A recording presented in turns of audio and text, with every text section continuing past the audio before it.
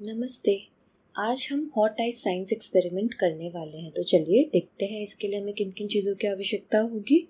हमें चाहिए होगा विनेगर यानी कि सिरका बेकिंग सोडा ग्लास और एक बिग बाउल यानी कटोरा। अब सबसे पहले एक कटोरे में चार ग्लास विनेगर के डाल लें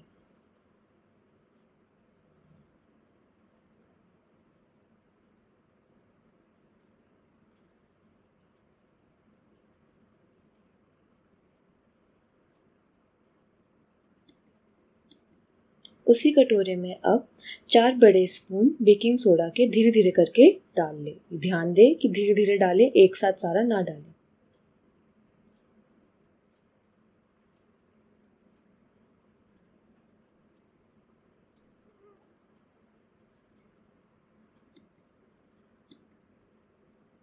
अब उस सॉल्यूशन को, यानी कि उस घोल को मीडियम फ्लेम पे बॉईल होने के लिए रख दें।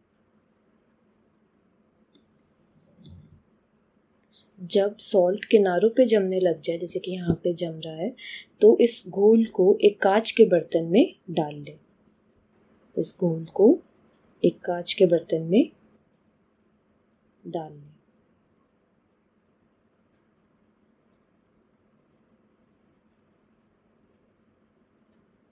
और इस बर्तन को एल्यूमिनियम फॉइल की मदद से कवर कर दें।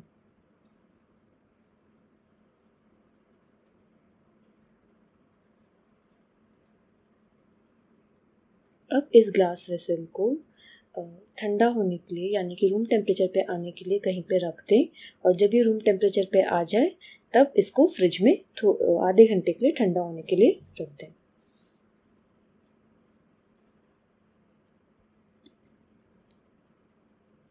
एक प्लेट लें, उसके ऊपर थोड़ा सा बेकिंग सोडा डाल लें। अब इस घोल को, इस ठंडे हुए घोल को इसके ऊपर धीरे धीरे करके थोड़ा थोड़ा डालें। आप देखेंगे क्रिस्टलाइजेशन स्टार्ट हो जाएगा। जैसे कि हम यहाँ पर थोड़ा थोड़ा डाल रहे हैं और यहाँ ये देखो जमा होना स्टार्ट हो गया।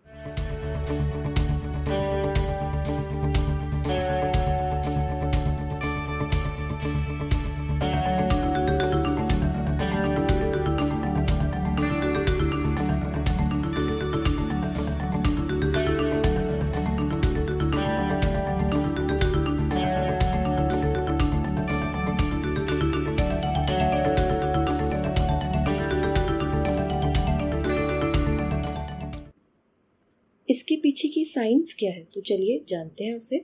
जब हमने इस सोडियम एसिटेट का घोल, यानी कि बेकिंग सोडा का घोल, इसको फ्रिजर में रखा था, रेफ्रिजरेटर में रखा था तो ये सुपर कूल लिक्विड बन गया था। यानी कि ये अपने मेल्टिंग पॉइंट से नीचे भी लिक्विड के फॉर्म में था।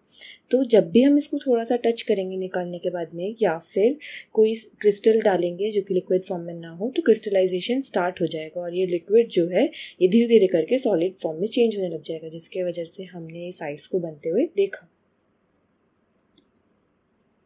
Thanks for watching